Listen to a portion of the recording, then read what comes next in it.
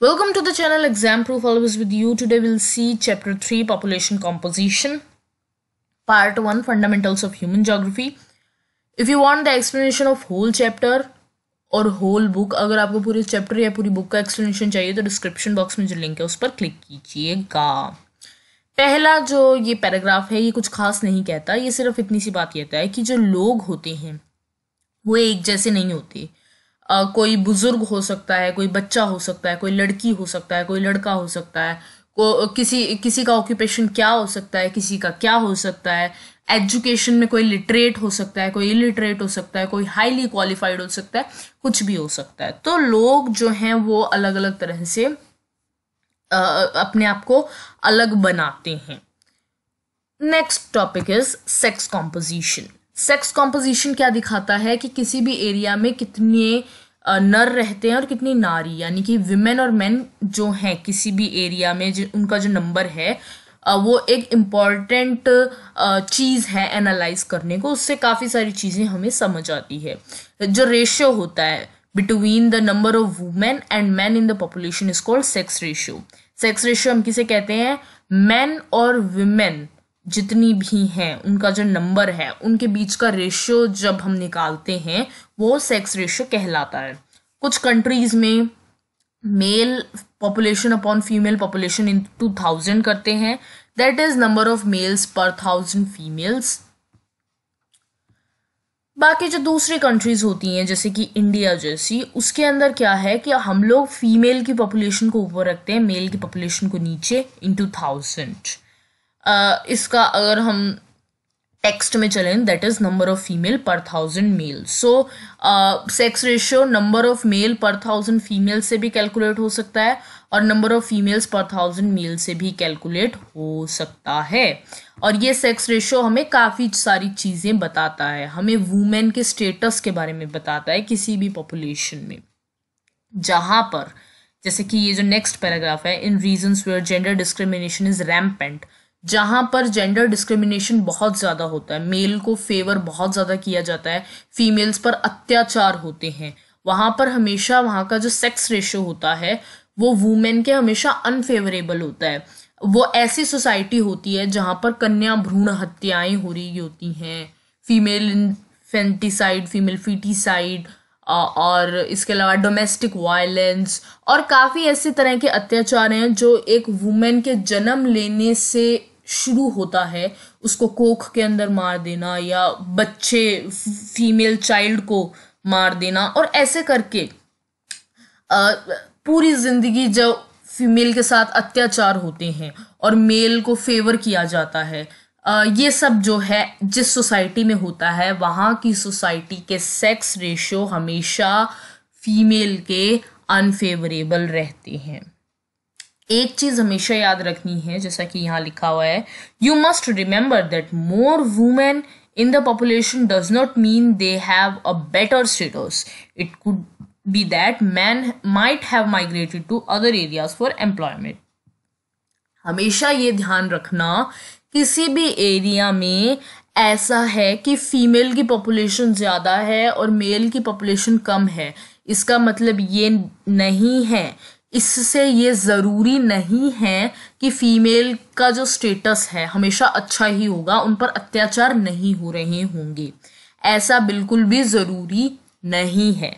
अच्छा भी हो सकता है, लेकिन खराब भी हो सकता है।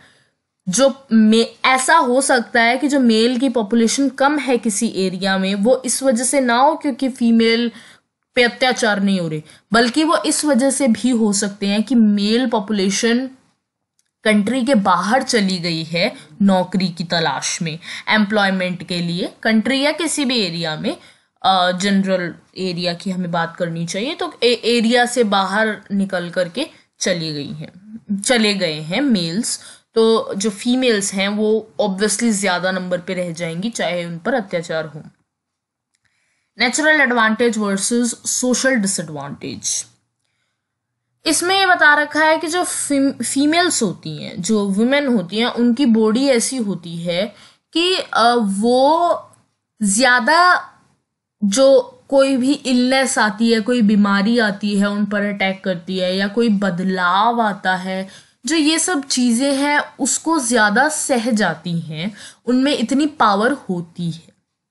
जबकि जो बजाय मेल्स के ये एक बायोलॉजिकल एडवांटेज नेचर की तरफ़ से फीमेल को मिला है कि उनकी बॉडी किसी भी अटैक की किसी भी डिज़ीज़ का कोई अटैक हो गया है उनके ऊपर किसी भी कोई भी बीमारी लग गई है या कोई बदलाव आ रहा है कोई शॉक है कोई सडननेस है उससे फीमेल की बॉडी जो है वो बहुत ही जल्दी से आ, उस पर उभर आती है मगर जो बजाय मेल्स की। लेकिन मगर जो फीमेल के साथ इतने अत्याचार होते हैं जो सोसाइटी ने फीमेल को एक लाइबिलिटी की तरह देख रखा है उसकी वजह से ये जो नेचुरल एडवांटेज है ये कहीं नज़र ही नहीं आता। मतलब आ, क्योंकि फीमेल की सिचुएशन ओवरऑल बड़ी ही वलनरेबल रहती है बड़ी ही ख़राब रहती है क्योंकि उन पर इतने अत्याचार किए जाते हैं डिस्पाइट द फैक्ट कि उनकी बॉडी जो है वो आ, किसी भी डिज़ीज़ से लड़ने के लिए किसी भी शॉक या कुछ भी ऐसा है, कोई भी सडननेस उनकी जो बॉडी में आ गई है तो उससे उभरने में उनकी बॉडी ज़्यादा कामयाब होती है। On an average the world population reflects sex ratio of 102 males per 100 female कहने का मतलब है कि 100 फीमेल्स पर 102 मेल्स हैं, जबकि ये 100 100 होना चाहिए ओके okay? इक्वल होना चाहिए। the highest sex ratio in the world has been recorded in Latvia Latvia में सबसे ज़्यादा सेक्स रेशियो है। Where there are eighty five males per hundred female hundred females per eighty five males ही हैं।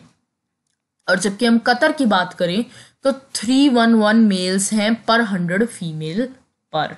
यानी कि सौ औरतों पर कितने मेल्स हैं? Three one one males The world pattern of sex ratio does not exhibit variation in developed region of the world. The sex ratio is favorable for females in 139 countries of the world and unfavorable for them in 72 countries. listed by United Nations. जितनी भी UN में countries हैं उनकी अगर हम बात करें तो 139 countries ऐसी हैं जहाँ पर सेक्स रेशियो फीमेल के लिए फेवरेबल है और जबकि बाकी बच्ची जो बत्तीस बहत्तर बहत्तर, यानी कि सेवेंटी टू कंट्रीज़ हैं, उनमें फीमेल का सेक्स रेशियो ख़राब है। फीमेल से सेक्स रेशियो अनफेवरेबल है।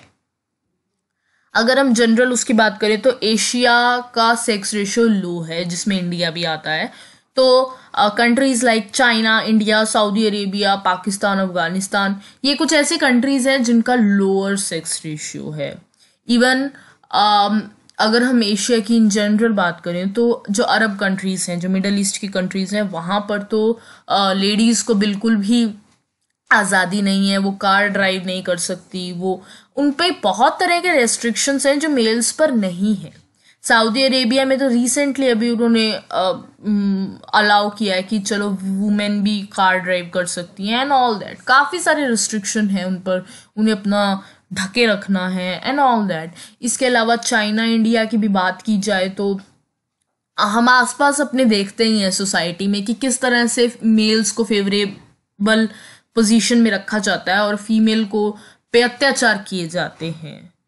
आसपास रोज हम न्यूज़पेपर्स में पढ़ते हैं and I don't want to go there but the fact is that कि हमारा कंट्री या एशिया के जो ये कंट्रीज़ हैं China India Saudi Arabia Pakistan Afghanistan they all have low sex ratio क्योंकि यहाँ पर अभी भी फीमेल्स को as compare to the European countries बहुत डिस्क्रिमिनेशन फीमेल्स का है। On the other extreme is the greater part of Europe Europe की जो कंट्रीज़ हैं, वहाँ पर जो मेल्स हैं, वो माइनॉरिटी में है, वहाँ पर मेल्स कम हैं। तो ये मेल्स कम हैं, कुछ तो इस वजह से हैं क्योंकि बाहर चले गए वो नौकरी की तलाश में आउट माइग्रेशन होता है, मेल्स का ज़्यादा फीमेल्स का उतना नहीं होता। और फीमेल्स के यहाँ पर सिचुएशन भी बेटर है। जो यूरोप में फीमेल्स की सिचुएशन बेटर है, बजाय एशिया के। Then is the age structure age structure represents the number of people of different age groups structure ये दिखाता है कि कितने लोग हैं अलग अलग एज के। मतलब कि बच्चे कितने हैं, जवान कितने हैं, बुज़ुर्ग कितने हैं। तो ये एक अच्छा इंडिकेटर है पॉपुलेशन कंपोजिशन का। अगर पंद्रह से फिफ्टी नाइन ईयर्स की जो एज होती है फिफ्टीन से फिफ्टी नाइन ईयर्स के बीच में लोग अगर ज़्यादा होंगे तो ये होती है वर्किंग पॉपुलेशन यानी कि काम करने वाले लोग ज़्यादा हैं कंट्री को एसेट ज़्यादा हैं। अगर साठ से ऊपर के लोग होंगे ज़्यादा तो वो क्या होती है वो एजनिंग पॉपुलेशन होती है। मतलब कि उस पॉपुलेशन में बूढ़े लोग ज़्यादा होते हैं। अब बूढ़े लोग काम तो करते नहीं उनको और, और उनका हेल्थ का खर्चा अलग से आता है। तो वो हेल्थ केयर फैसिलिटी पर ज़्यादा स्पेंड करने वाली पॉपुलेशन हो जाती है।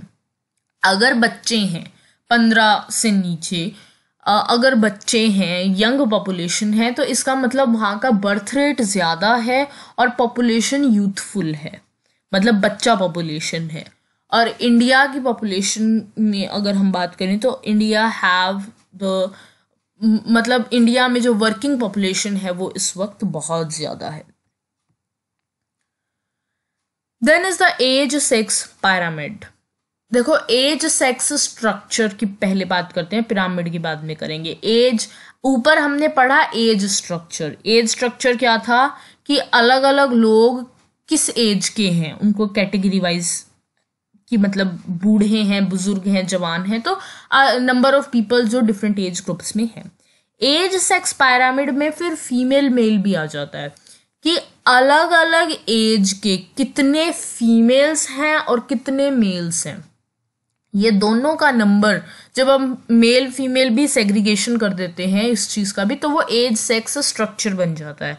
और एक पॉपुलेशन पिरामिड यूज़ होता है इस एज सेक्स स्ट्रक्चर को शो करने के लिए, जिसको कि हम कहते हैं एज सेक्स पिरामिड यहाँ पर ये जो पिरामिड बने हुए हैं, ये नाइजीरिया का और नीचे ये ऑस्ट्रेलिया का ये जो फिगर है, ये सारा, ये इसको हम एज सेक्स पिरामिड कहते हैं।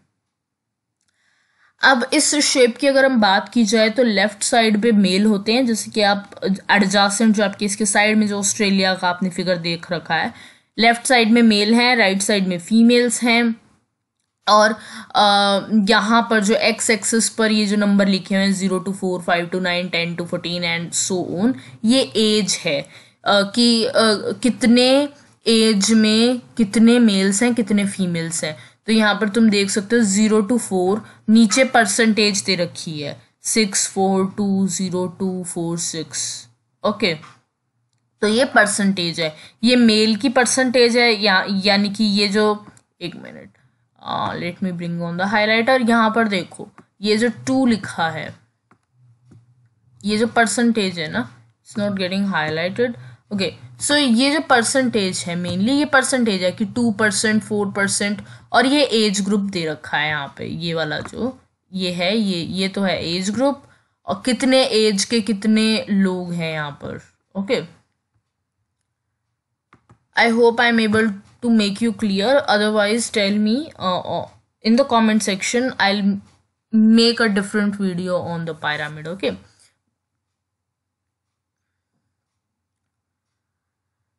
Then is expanding population. देखो पहले तीन टाइप के पिरामिड होते हैं। पहला है एक्सपैंडिंग पॉपुलेशन अब एक्सपेंडिंग पॉपुलेशन जो है यहाँ पर एग्ज़ाम्पल दे रखा है नाइजीरिया का। ना, तुम ये पिरामिड देखोगे तो ट्राइंगल जैसा पिरामिड है। यहाँ पर तुम देख रहे हो ट्राइंगल जैसा पिरामिड है। इसका वाइड बेस है।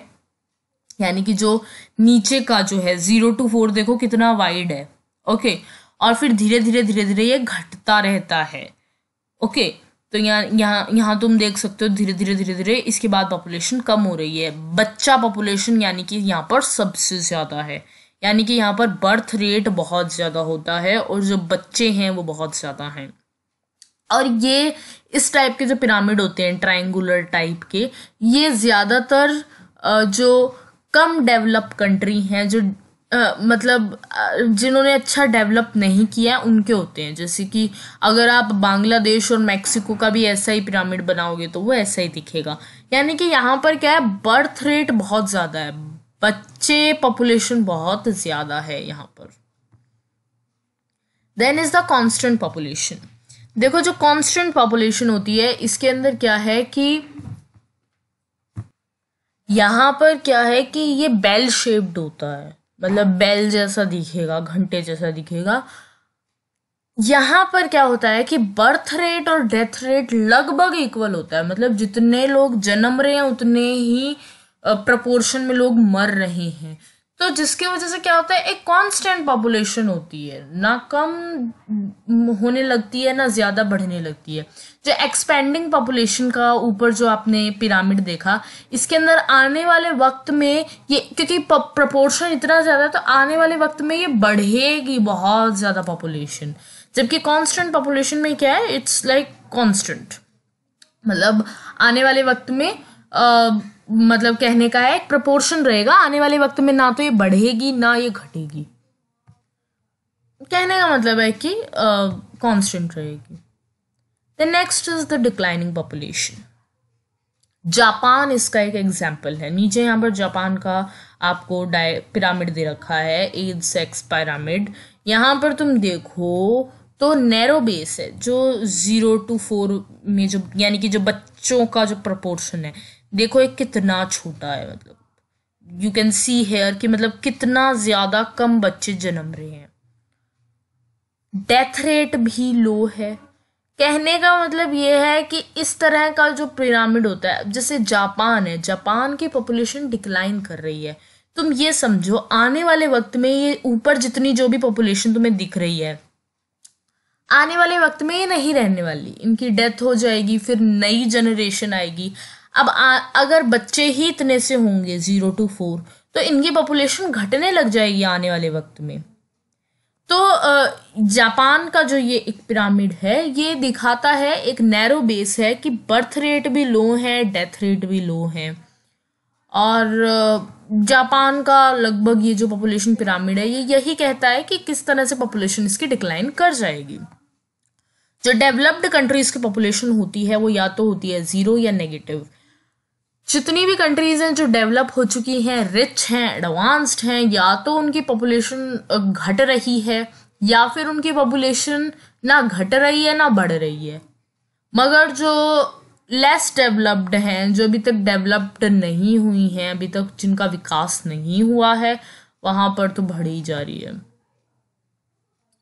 Then is the ageing population ये एक नया फिनोमिना है. Population ageing is the process by which share of older population becomes proportionately larger population ageing का मतलब है कि किसी भी एरिया में, किसी भी कंट्री में यदि बूढ़े लोग बढ़ जाएँ, बाकी पॉपुलेशन की कंपैरिजन में अगर बूढ़े लोग बढ़ जाएँ तो उसको हम पॉपुलेशन एजनिंग कहते हैं.